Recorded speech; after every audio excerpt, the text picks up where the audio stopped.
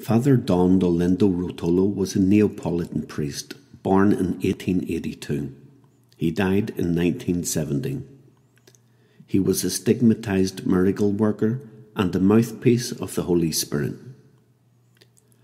Father Rotolo had extraordinary communications with Jesus throughout his heroic life, a life that was totally devoted to God and Holy Mother Mary. He referred to himself as the Madonna's little old man, and the rosary was his constant companion. As you can see from this novena, much of what our Lord wants flies in the face of normal human inclination and reason. We can only rise to this level of thinking through the grace of God and the help of the Holy Spirit. We must let go of our problems, stop worrying and trying to resolve them ourselves. We must believe, trust, and allow our Lord to rescue us from ourselves and supply our wants, needs, and resolve our problems as only He can. Jesus, you take care of it, should be the first words that come to our minds and flow from our lips in any situation. After all, we have tried to do things our way, and look where it has got us. Just do as the prayer says. Open our hearts and our minds in love and close our eyes in trust and ask Jesus to take care of it. He will. On November the 19th, 1970, Father Dolindo died at the age of 88.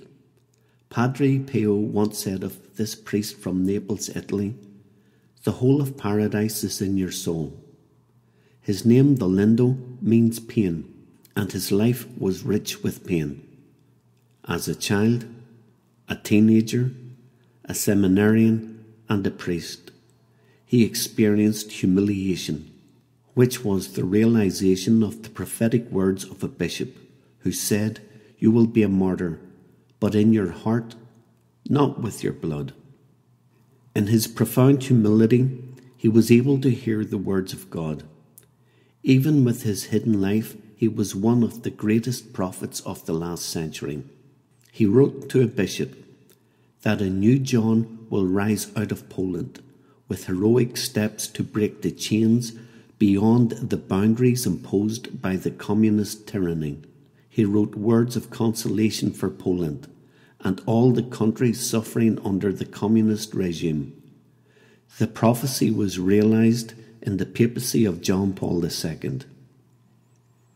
In his tremendous suffering, Dolindo became more and more a child who lived his self offering to the Divine Father. I am totally poor, a poor nothing. My strength is my prayer, my leader is the will of God, which I let take me by the hand. My security over the uneven path is our Heavenly Mother Mary. One of the treasures from the words which Jesus spoke to Dolindo was the teaching about total abandonment to God. In this novena, Jesus is talking to Don Dolindo and also to us.